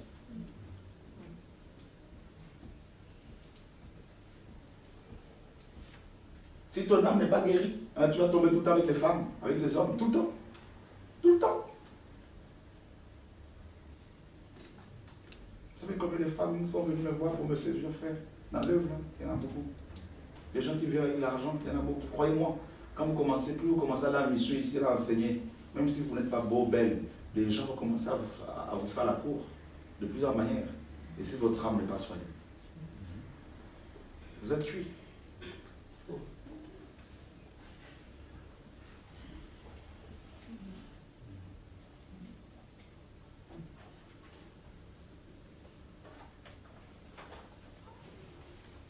C'est pour cela que Dieu prend Paul, après l'avoir moins mandaté, il, le met en prison. D'abord à Césarée, pendant deux ans, Paul était oublié. C'est pour travailler son âme. Paul ensuite l'amène à, deux reprises à, Rome pour, qu'il soit emprisonné. Le Seigneur l'amène là-bas à deux reprises pour qu'il soit emprisonné. Mais voilà, pour préserver son âme. Voilà, oui. Vous croyez que Dieu, euh, César était plus fort que Dieu? Dieu, c'était dans son plan pour préserver son serviteur. Ah oui. Pour pourquoi il permet autant, que, autant de combats dans nos vies, que les gens fassent des vidéos contre nous, tout ça? C'est pour maintenir ton âme dans. Sais, elle est blessée, c'est fait exprès pour que tu sois toujours dans l'humilité. C'est une charme. Ah oui, je blesse et je guéris, Dieu dit. Sinon, là, on va, on va tous tellement enfler là, ça va, ça va péter dans tous les sens. Ah oui, ça va exploser. Vous allez voir, mais je vois, j'ai vu des églises où les gens commencent à sortir les uns avec les autres. hein. Ah bah bien sûr. Où des femmes, des pasteurs commençaient à, commençaient à aller ensemble. A deux femmes comme ça sont venues me voir pour dire nous allons ensemble. La femme d'un apôtre avec la femme d'un évangéliste. Ouais. Vous voyez ce que ça donne? Dans une assemblée, quand les âmes sont, quand les cœurs ne sont pas travaillés là. Vous voyez, comme Esaü, il a vendu son droit d'aînesse à cause de la main, l'âme. Ah ouais Les émotions, les sentiments, l'amertume. Vous voyez, comme la parole le dit dans Hébreu 12, 15. Hein? Hein? Veillez à ce que personne ne se prive de la, de la grâce de Dieu. Hein? À ce qu'aucune racine d'amertume, vous voyez, poussant de rejeton ne produise du trouble. Hein? Et que plusieurs soient infectés. Ben, c'est exactement ça. Quand il y a l'amertume, on va débiter des mensonges. On va dire des, mensonges pour salir les gens, pour casser les gens. Ah l'âme. Ah oui. Une personne amère, c'est une personne qui va débiter des mensonges, qui va débiter des paroles qui vont pour, blesser, pour détruire, pour casser. L'âme. Ben oui, frère. Ben oui. C'est du poison, l'amertume. Voyez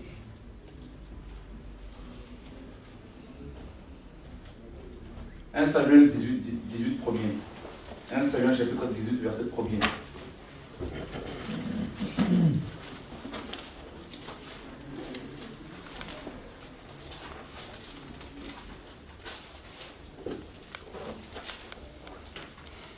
David avait achevé de parler à Saül, et dès lors l'âme de Jonathan fut attachée à l'âme de David. Et Jonathan l'aima comme son âme. L'âme de David était attachée à l'âme de Jonathan. Alors, ici, le verbe attaché signifie aussi lié, d'où les liens d'âme. D'accord? Les liens d'âme, voilà.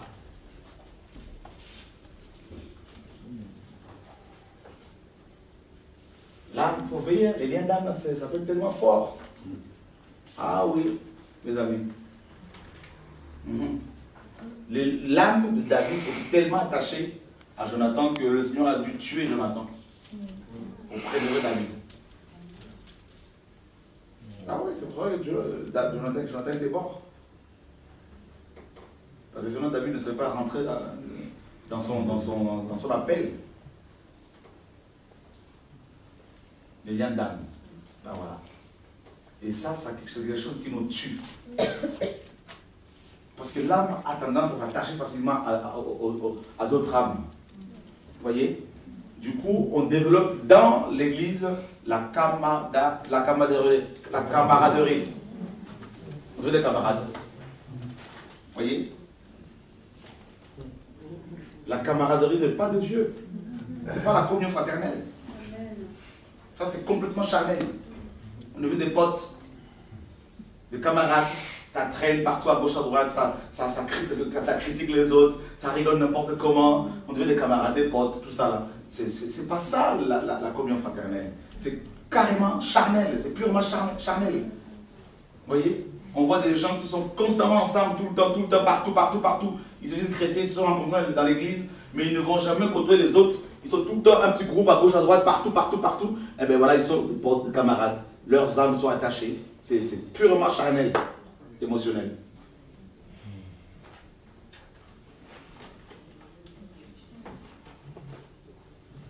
C'est terrible, hein? pourquoi? Parce que l'âme a besoin de s'attacher à quelqu'un.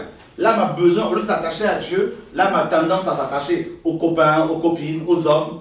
Voilà. Donc du coup, un couple dont, un- un- une femme dont l'âme est attachée à un homme, hein, une femme dont l'âme est attachée euh, totalement à un homme, si l'homme maintenant rompt avec elle, la femme se suicide. Peut se suicider. Et inversement. Vous comprenez? L'âme, c'est terrible. hein. Mhm. Elle est trop sensible.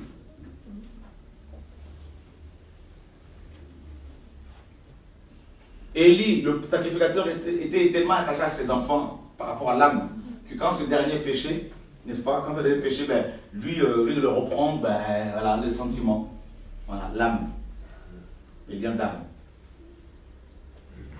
Tu es un homme, tu es marié. Par exemple, je prends l'exemple d'un couple, l'homme et la femme.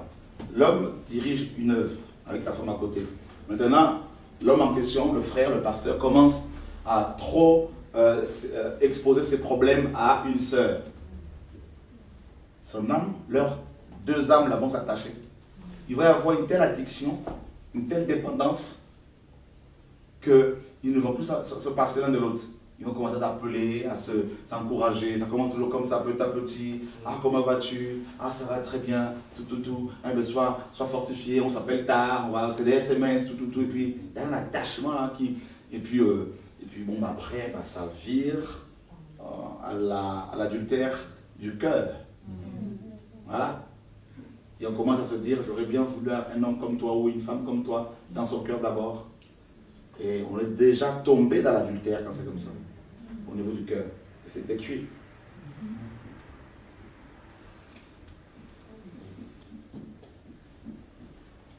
Est-ce que ça vous parle Obéissez. Hein?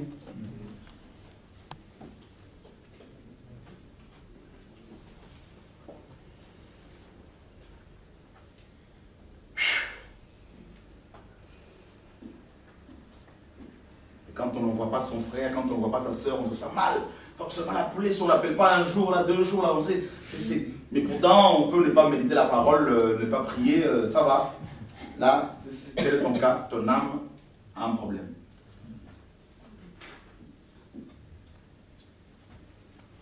Qui a besoin de délivrer au niveau de l'âme? Alléluia. Quand le Seigneur a vu cet attachement, bah, il a enlevé Jonathan. Bah oui.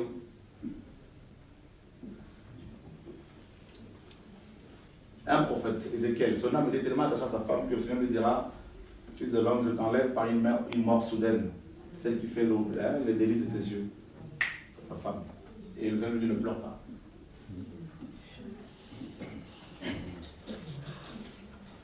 Quand mon père est décédé, le Seigneur m'a dit Laisse le enterrer les morts, les morts enterrer leurs morts, toi va annoncer ma parole. Quand ma mère est décédée, pareil, le jour de l'enterrement, le jour de la mort, le jour où j'ai appris le décès, j'étais en Belgique pour faire, un programme à Liège. Et le jour de l'enterrement, le Seigneur me dit Va au Canada faire l'œuvre. Est-ce que tu aimes le Seigneur au point de le dire, au point d'aller faire l'œuvre si ton père est décédé? Ta mère?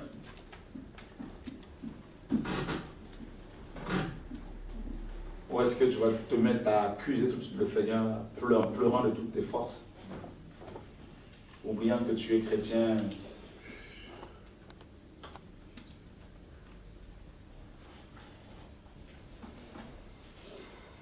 Ma mère est restée malade 22 ans, elle pesait 30 kilos.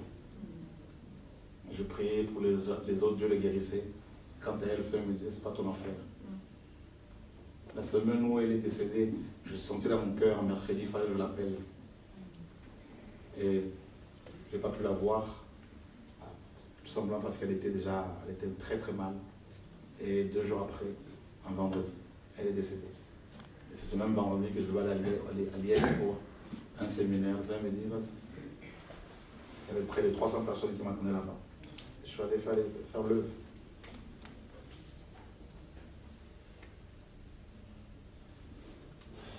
On veut vivre la gloire de Dieu, on veut expérimenter la gloire de Dieu, on veut voir, euh, avoir des puissants ministères, mais on ne veut pas laisser Dieu travailler nos cœurs, nos âmes. On le dit comme ça, Seigneur, je veux. Mais là, là, quand il nous soumet à une épreuve où nous devons justement manifester cette soumission, ben on ne s'applique pas.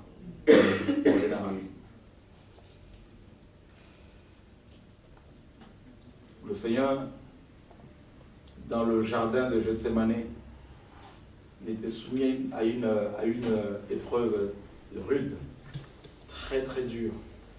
Et il dira, son âme nous dit la parole, son- le Seigneur a dit, mon âme est triste jusqu'à la mort. Voilà l'âme. Et il dira à son Père, si c'est possible que cette coupe s'éloigne de moi, mais toutefois non ma volonté, mais ta volonté. Et c'est ça l'âme. Quand l'âme est travaillée, là, commence à être bien, bien travaillée, eh bien, elle se soumet parce que c'est la volonté. Elle est soumise à la parole. Et là, tu peux aller loin. Et le Seigneur va commencer à te faire confiance. Dieu aime tout le monde, hein, mais Dieu n'agrée pas tout le monde. Le Seigneur agrée les personnes dont l'âme est brisée, l'âme est soumise. Et il leur fait confiance parce qu'il sait qu'il peut leur envoyer des belles femmes, des hommes beaux, des hommes riches, mais ils ne vont pas abuser d'eux.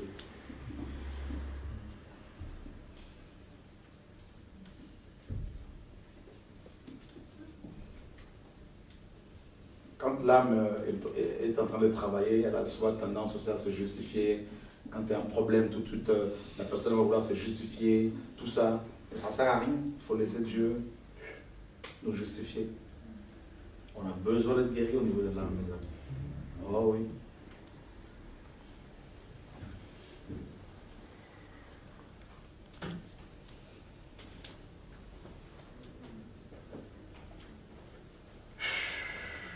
On va finir avec un passage dans Hébreu chapitre 4. Verset 12.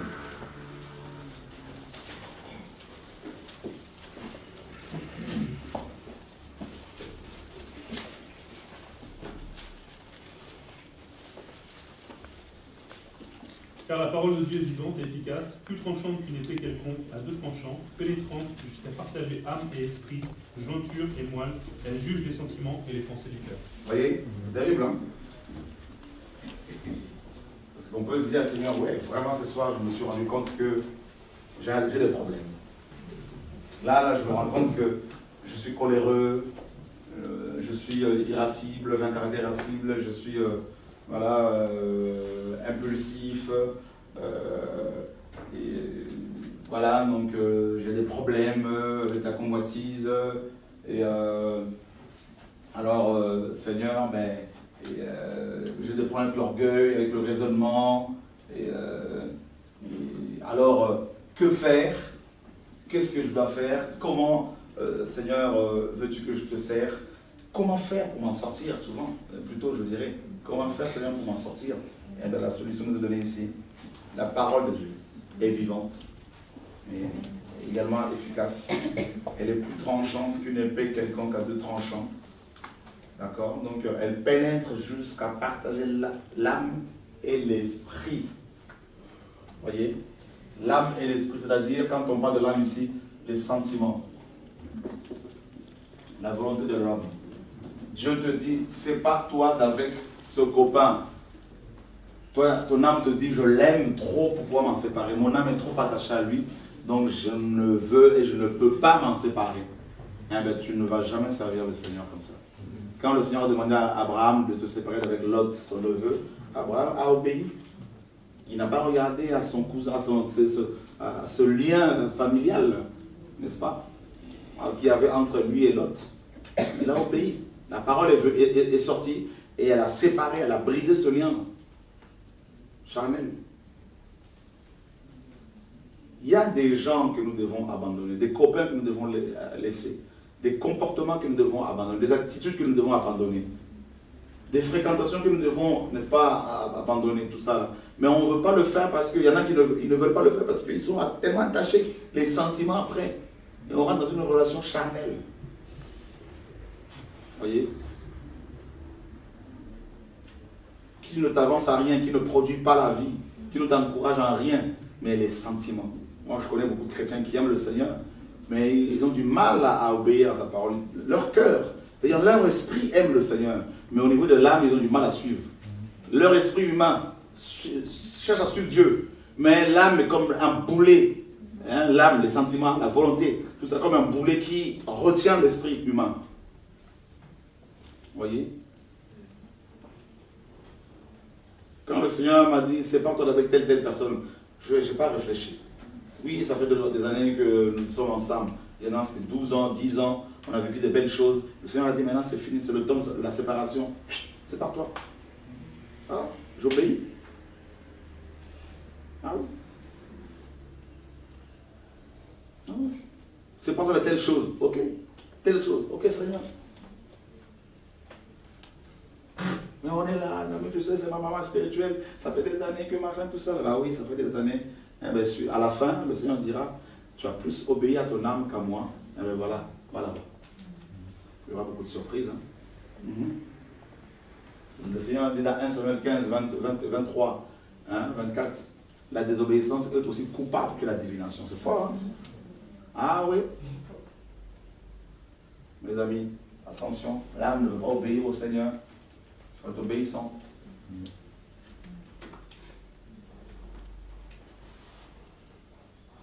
Pourquoi, beaucoup, pourquoi la psychologie est rentrée dans la, chrétienté? Pourquoi la psychiatrie est rentrée dans la chrétienté? C'est parce que beaucoup de chrétiens ne veulent pas amener leurs âmes au pied du Seigneur hein, pour qu'elles soient travaillées par la parole, par la croix. Alors on va commencer à vouloir consoler leur âme avec des paroles, mais ce n'est pas nous. L'âme a besoin d'être guérie par, la parole. Maintenant, on a, remplacé, la parole de Dieu par la parole de l'homme, le psychologue, le, psychiatre. Ben. Donc du coup, ben, les, chrétiens, dix ans après leur conversion, ils, ont toujours besoin d'aller parler à un pasteur. Il y a un problème. Il y a un problème. Un chrétien mature, quand il voit un pasteur, si Dieu l'utilise, il va simplement l'encourager, mais il ne va pas toujours aller le voir pour dire Non, mais tu sais, j'ai fait tel, songe, explique-le-moi. Mais tu sais, j'ai tel problème, prie pour moi. Mais c'est pas ça. Mm. Si tu es toujours là en train de courir après un pasteur, je ne comprends pas quand on a besoin de conseils par rapport à l'œuvre, tout ça. Là. Mais quand on a des bobos, là, on veut toujours aller voir un pasteur, cette tendance, là, toujours catholique, tout ça, là, aller voir un prêtre, tout ça. Là. Mais c'est parce qu'au niveau de l'âme, il y a encore besoin de la guérison.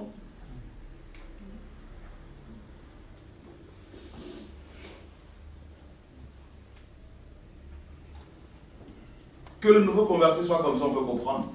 On les amène petit à petit au Seigneur. Mais les gens convertis depuis 4 ans, 5 ans, 6 ans, y a un problème.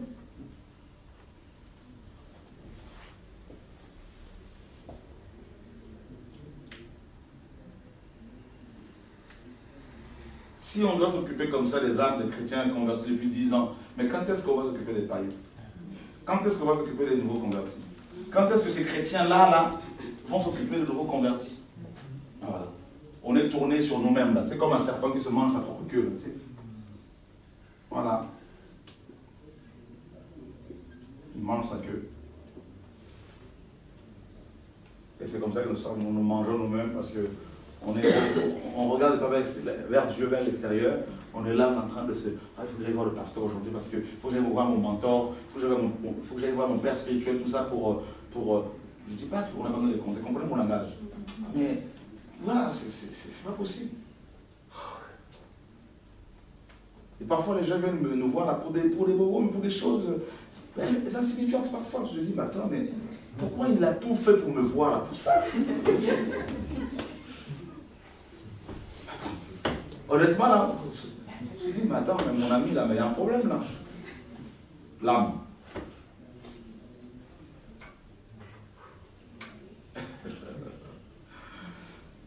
Alléluia. Alors, la séparation. Il faut qu'il y ait des séparations. Il faut accepter cela. Sors de ta patrie, sors de ta famille. C'est dur, hein, cette parole qu'Abraham a reçue. On est attaché au fondement à nos pays et nos patries. On est attaché aux hommes.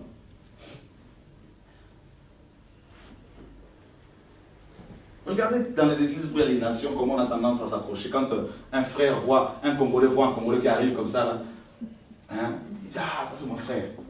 Tout, tout le monde le voit. Ça va, tout ça. Voilà comment nous sommes charnels, l'âme. Vous avez vu ça? C'est naturel, l'âme. Parce qu'on regarde selon l'homme. On juge selon l'homme.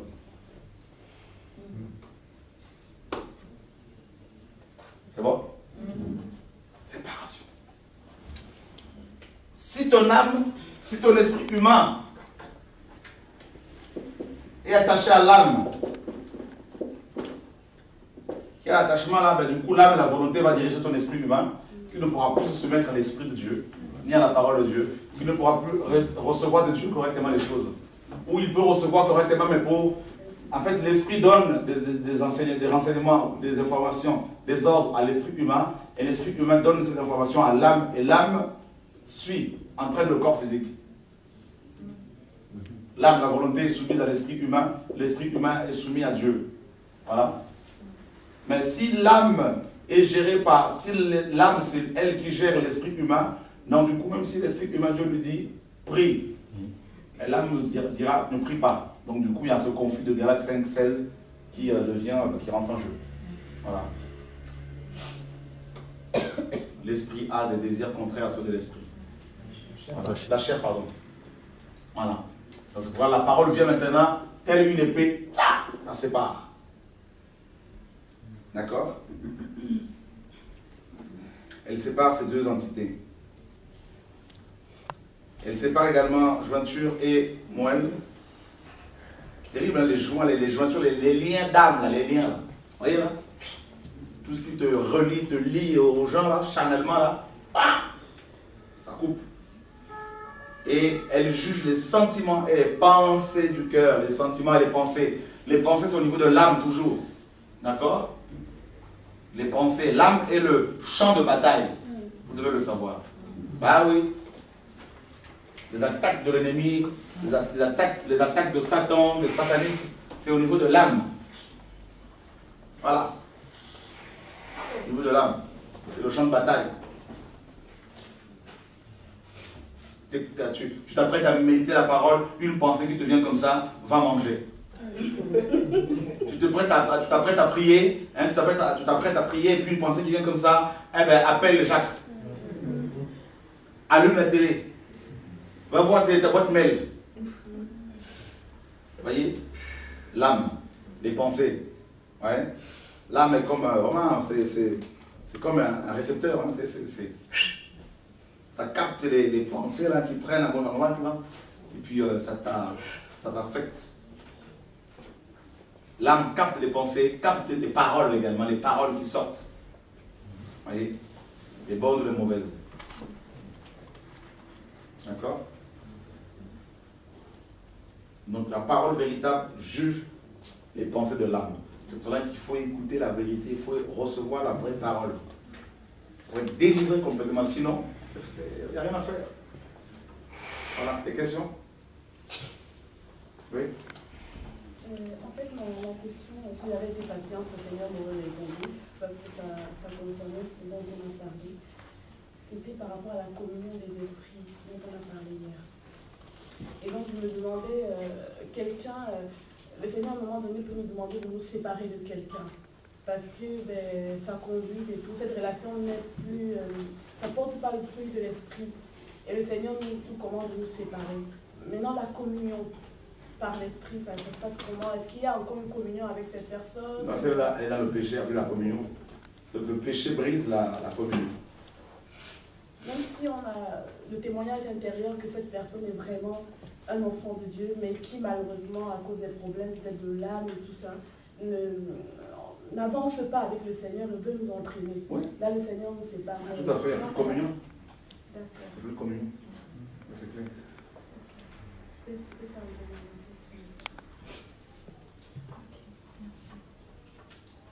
Mhm. Moi, j'avais deux questions. Euh, hier, tu as parlé de du fait que les démons, tout ça, ne pouvaient pas faire ce qu'ils voulaient parce que Dieu avait mis en fait des limites euh, qu'ils ne pouvaient pas franchir. Et ma question était de savoir, est-ce que un chrétien qui euh, régénéré, tout ça, en fait, l'accès qu'il peut donner aux démons, ça va être lié à sa sanctification finalement. Tout à fait. Hein? C'est ça. Mmh. Et euh, la deuxième question par rapport à, aux relations. Euh, comment faire la différence entre euh, la relation de camaraderie, d'amitié entre frères et sœurs euh? ben, une, une, relation basée sur la camaraderie est une relation purement charnelle parce qu'on va plus dire la, vérité. Tu vois, comme Élie avec ses enfants. Mais il a repris ses enfants, sauf ne pas écouté. Non, en fait, il ne les a pas bien repris. Sinon, le Seigneur ne lui aurait pas dit tu n'as pas, tu m'as pas respecté, tu m'as pas considéré en gros quoi. Et euh, voilà, donc euh, euh, tu vois la, tu vois la, la, la, la relation charnelle qu'il y avait entre Barnabas et Jean-Marc. Oui, oui, tu vois, qui voilà. fait que Paul s'est séparé. Voilà. Donc là, Paul n'était pas dans les sentiments. Et quand on, si on n'est pas dans les sentiments, si on est vraiment dans les sentiments de Dieu, hein, comme le Seigneur le dit dans Philippiens 2, hein, ayez en vous les sentiments qui étaient en Jésus-Christ. Donc vous pouvez le méditer ça. Donc euh, ben, voilà, c'est les sentiments que nous devons avoir. voyez? Donc euh, l'humilité, la crainte de Dieu, l'obéissance, Galates 5, 22. Donc c'est un ordre. Et euh, Paul avait ces sentiments-là, donc du coup, ben, il était traité de méchant, de dur, de manquant d'amour. voilà. Donc il faut, il faut, faut, comprendre que le Seigneur nous a pas sauvés pour qu'on soit des camarades. Voilà.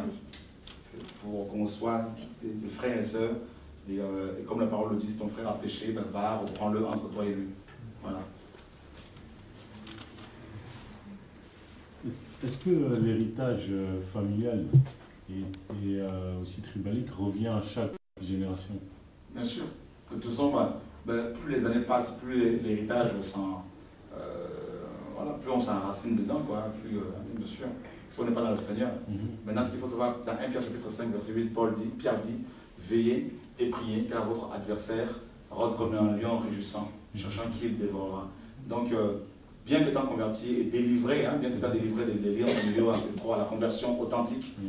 Satan tournera toujours autour de nous. Les démons qui sont chassés de nous, qui, nous ont quittés à la conversion, chercheront toujours à, tourneront toujours autour de nous jusqu'à notre mort. Et chercheront à nous reconnecter aux choses euh, du passé. Voilà.